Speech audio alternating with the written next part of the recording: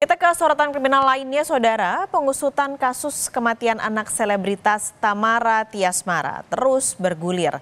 Terakhir, polisi memeriksa ibunda Tamara dan juga guru Dante sebagai saksi. Selebritas Tamara Tiasmara bersama ibunya diperiksa polisi terkait kasus kematian putranya di kolam renang Duren Sawit, Jakarta Timur. Dalam pemeriksaan ini, pihak Tamara mengajukan bukti foto terhadap penyidik. Tamara dan sang ibu diperiksa selama hampir tiga jam. Kuasa hukum Tamara Tiasmara, Sandi Arifin, mengatakan ibunda Tamara mendapatkan 11 pertanyaan. Ya, ke Tamara terkait keterangan tambahan yang dua hari lalu sudah pernah disampaikan. Jadi mungkin tadi kurang lebih ada sekitar 11, 11 pertanyaan yang sudah dijawab sama ibu.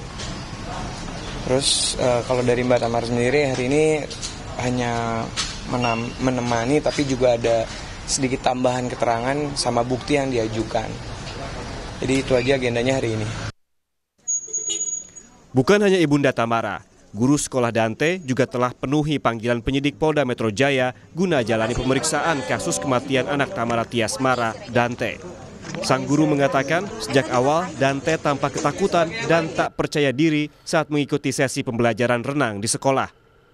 Uh, sebelumnya saya mau klarifikasi juga ya karena saya tadi juga ada nanya ke penyidik apa yang uh, apa yang bisa disampaikan atau tidak ya dan saya menghargai proses hukum jadi saya uh, akan hanya menjelaskan tentang Dante saja di sekolah yaitu memang seperti penjelasan sebelumnya Dante itu belum percaya diri di kolam renang.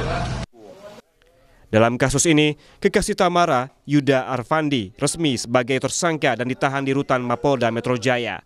Yuda dijerat pasal berlapis Undang-Undang Pelindungan Anak. Hingga kini, polisi masih menggali alasan tersangka menenggelamkan korban sebanyak 12 kali ke kolam renang. Tim Liputan, Kompas TV.